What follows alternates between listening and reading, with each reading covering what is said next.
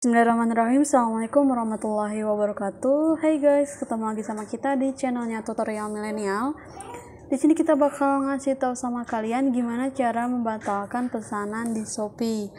Oke, yang pertama di sini kita bisa buka aplikasi Shopee kita. Nah, kemudian selanjutnya di sini eh, setelah kita sampai di halaman utama atau beranda dari aplikasi Shopee ini, kita bisa langsung buka akun pengguna Shopee kita ya yang saya ini. Nanti ada kemudian selanjutnya di sini kamu bisa cek yang belum dibayar yang pesanan saya ini Nah, kemudian uh, karena di sini kita akan membatalkan pesanan di Shopee, selanjutnya di sini kamu bisa klik yang uh, pesanan ini ya. Kita klik.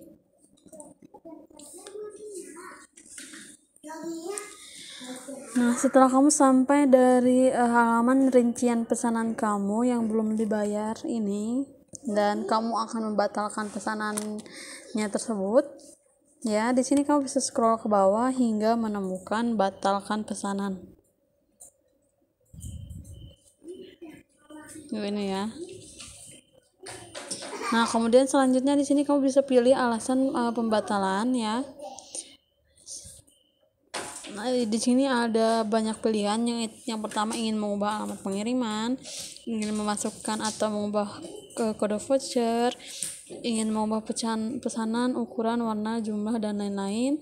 Kemudian tidak mudah melanjutkan pembayaran, menemukan harga yang lebih murah di toko lain, tidak ingin membela, membeli lagi dan juga ada lainnya. Di sini aku bakal ambil aja yang uh, lainnya aja ya kamu klik lalu kalau sudah, kamu klik uh, hingga berubah menjadi warna orange segini kamu bisa langsung klik konfirmasi